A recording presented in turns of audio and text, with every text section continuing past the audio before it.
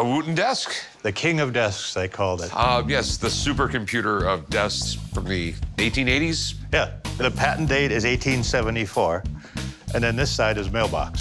They were purpose-built for organizing your stuff, and it's so much like the supercomputer, you gotta open it up to see if you have mail.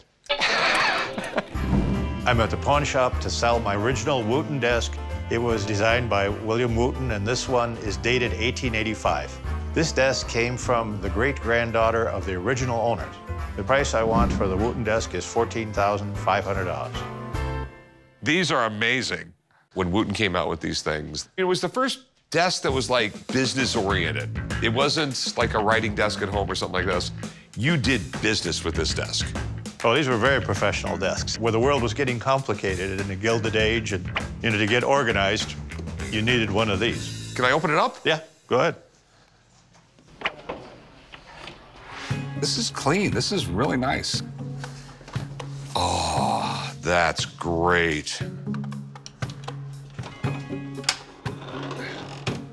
It's in beautiful shape. A lot of these got fairly beat up because they were real commercial desks.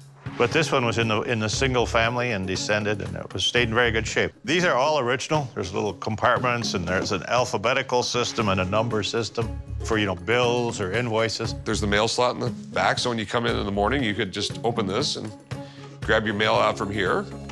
Oh, I can see it's been a little bit modified, but that Yeah. happens to him every once in a while. Right.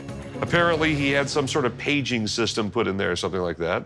And I'm assuming these right here were most likely for setting his pens in. They're inkwells, a red one and a black one.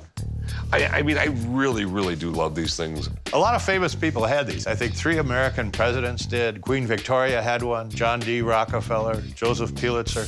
They were really the prestige desk of their era. Um, okay, so how much you want for it?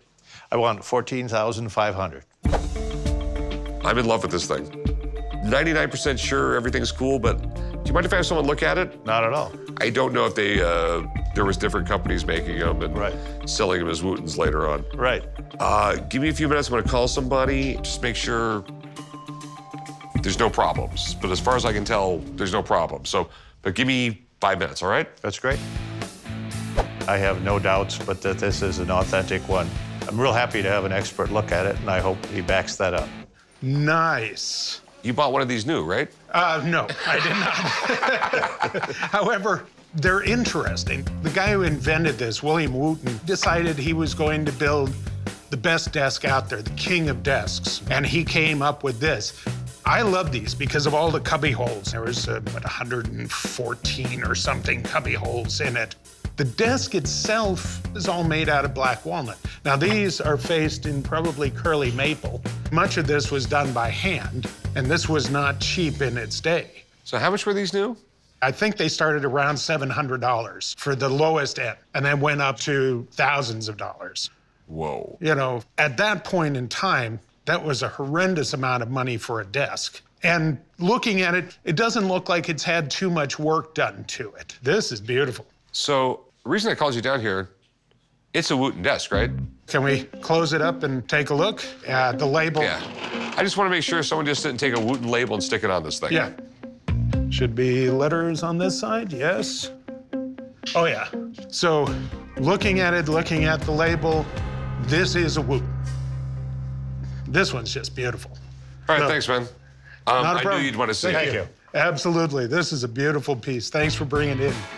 The Wooton desk, for anybody collecting late 19th century furniture, this is one of the ultimate pieces that you would have. This is a beautiful desk. Of course, if it were me, I'd take it home.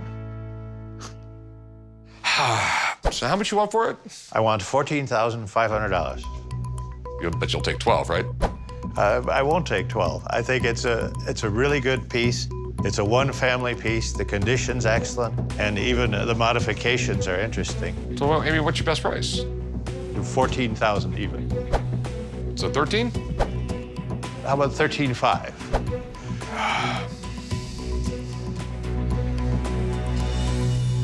You got a deal.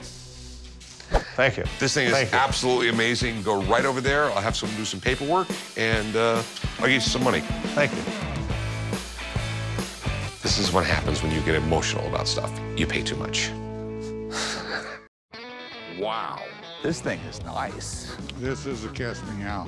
This is like one of the holy grails of American coins. I'll do 95 and that's it. No, I don't think so. I think I'm going to take it home.